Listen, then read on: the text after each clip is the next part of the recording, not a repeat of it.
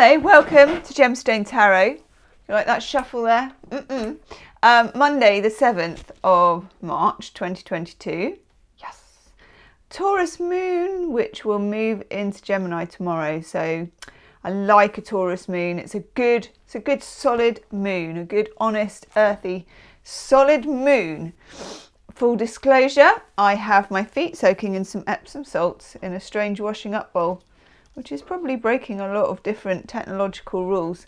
Um, and also I've got a couple of new bits and bobs, which I'm going to biddly bop. Are we ready? And I'm going to show you. This is for, yeah, I've told you the date. Good. Look, bits and bobs. You don't normally see me with bits and bobs, but here's some bits and bobs. This is a salt thing salt thing with a candle in, which I'm quite fond of. These are off my um, fireplace downstairs. This is, is selenite or something like that. Um, the boy bought me this a few years ago for my birthday. It's really nice. Let's try and get it closer to the camera. There we go, without spilling wax everywhere. And then even some crystals, and I'm very random about crystals, like I'm random about most things. Um, Rose quartz in a heart shape. I know it's a bit cheesy, but I kind of like it. Amber, maybe something like that, but I like it. Pyronite, is it, or something? The boy bought me this for my birthday too. This is really cool. It's a bit like a rocket. Anyway, that's what's on the table at the moment, so I thought I'd just show you that. Let's biddly bop back biddly bop back. Okay, we have some new cards. I was going to do a couple of cheese boards, Kim Krans archetypes, because these are very popular and I really like them. And then also we have new deck, new secondhand deck, healing cards and for daily practice, a daily practice for maintaining spiritual balance by Caroline Myss, M-Y-S-S, and Peter Occhiogrosso. I think that's how you pronounce it. We're going to pick up on that? Yes. So, mm -mm, slightly battered box. I'm excited already. Okay, I am excited already. And how do I know this? Because, oh, hone in on that. Look, a bit of a bashed corner. In fact, bashed all round, isn't it? Bish, bash, bosh, lovely, jubbly. And then the cards themselves, I do like a rounded card. Do you know what I mean? I do like a rounded card. So rounded cards and also um, Caroline Myss, Myss, Myss has done some archetype cards, which I have got, but we're not doing yet, which I'm going to branch out and mix up with Kim Krans. I know. What a curious admixture. Also got dry shampoo on, which falls into my contact lenses. It's been one of those few days, hasn't it, recently?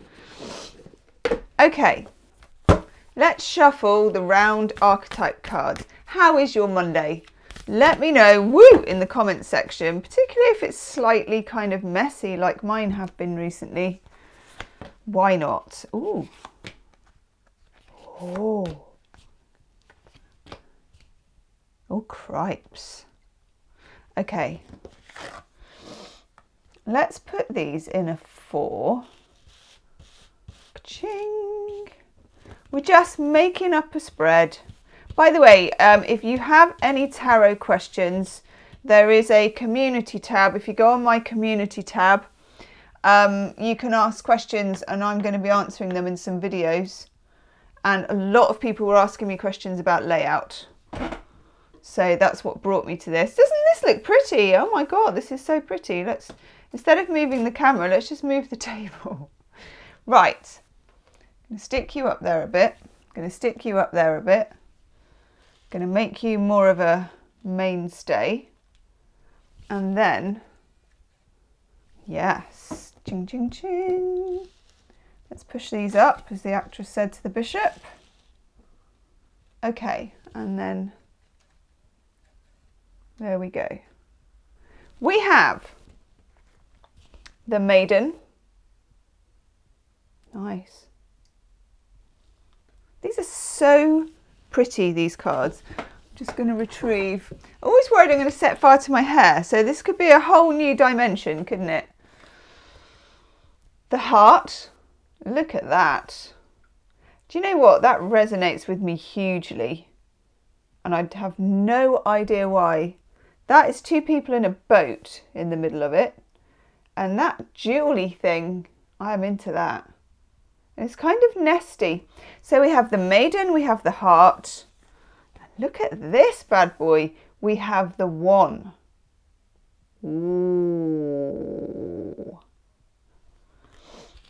And we have the self. And you know what I told myself before I started this reading? I said to myself, this is another full disclosure, my readings have been getting a bit esoteric recently and a bit weird, so I'm just going to get the Rider Waite out and I'm just going to go do a really kind of middle of the road, let's reset, you know, a real classic. And what do I do? I don't do that, but I dig out the cheese board, we go weird on the healing cards, I start lighting salt candles, crystals are appearing. God knows what's happening, but I hope you're in for the ride. Okay, I hope you're in for the ride. Let's do this thing. First of all, the maiden as an archetype is the innocent the zero, a bit like the fool, okay? And obviously, um, with tarot, you do now with the more modern decks, you get female archetypes of the fool. This is um, the fool in all of its feminine and masculine energy for me, okay? The fool is also, or the maiden, is something that hasn't been ruined by experience.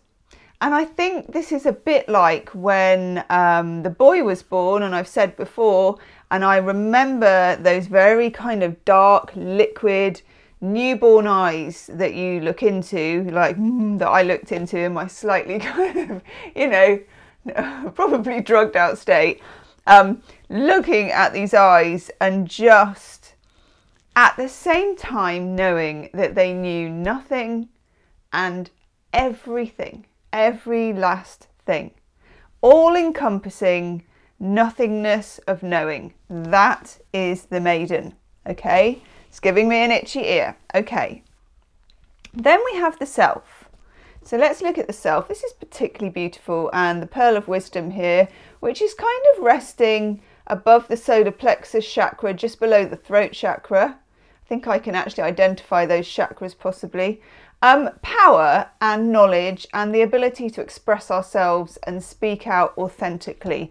That's what I'm getting for the self. And again, this is not necessarily what I'm going to read in Kim Krans's beautiful guidebook, but it's what I'm getting as a response to the cards. And again, if you're doing Q&A and a lot of this has come up so far, is how do I know? I think that's the biggest question when people are reading tarot, particularly if they're going to do it professionally or if they're going to do it for other people.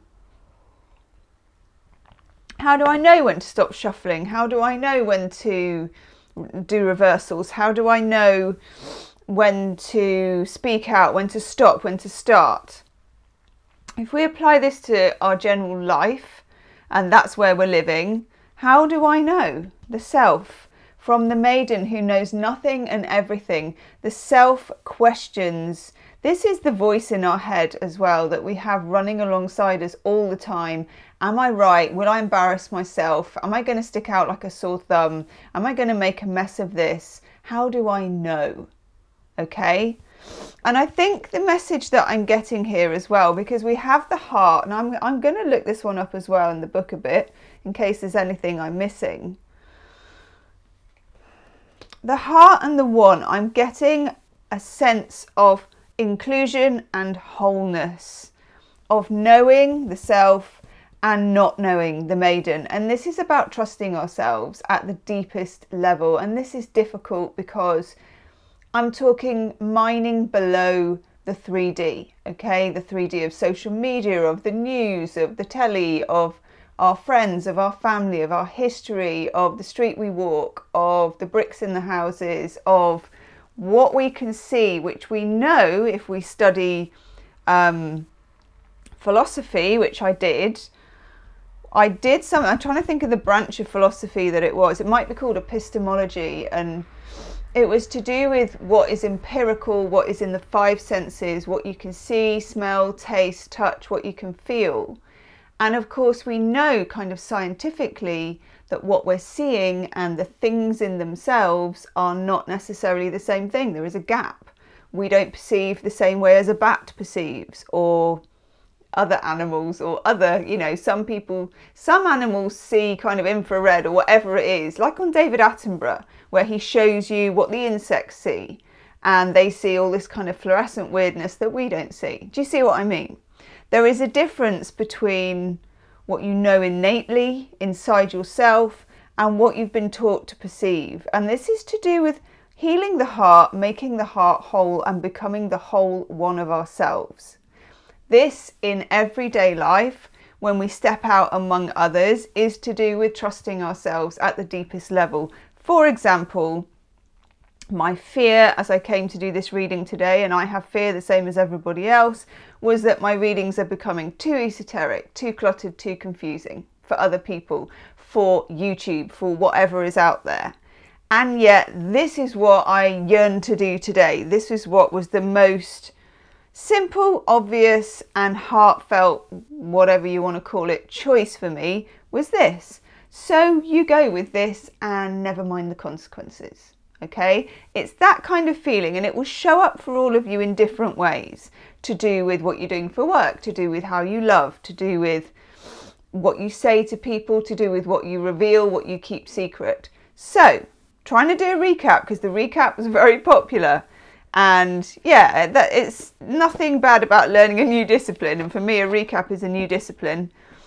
This is about what is not known, the maiden, what is known, the self, but maybe externally known rather than internally integrated, making the heart whole and the, the one of all of these things combined as we show up in general life, 3D life, authentically as ourselves in our hearts, our minds, our action, and our words. Okay, not an easy thing to do.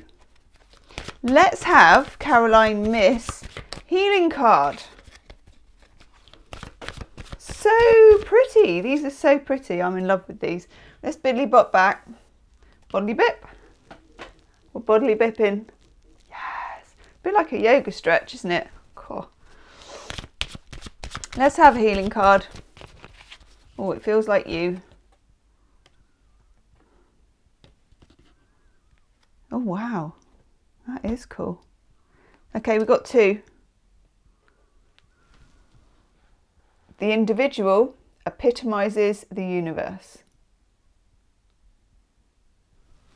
We are all one. I know. Where exactly does your influence on life end? You will never know the full power or consequences of your actions and choices. Enhance the whole of life today through your actions.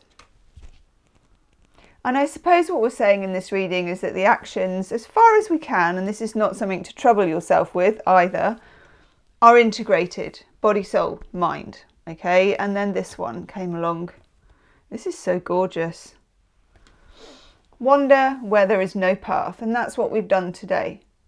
And that's the feeling you might be getting today or being called to. Okay, there's no time like the present to get lost. to realize that a path has many expressions exploring creativity, indulging intuition, pursuing a relationship. Choose one or all and get lost on the pathless path today. Woof! So there you go. We had a recap. Weird and wonderful reading. I hope. Leave me a comment if you have any Q&A questions. Please put them on the community tab or I'm going to get confused going in the comments section here and the community tab over there. I can't really cope with that. So stick them on the community tab because I'm going to be reading directly off that. Okay, leave me a comment, let me know your thoughts on this reading, and I'll see you soon. Namaste.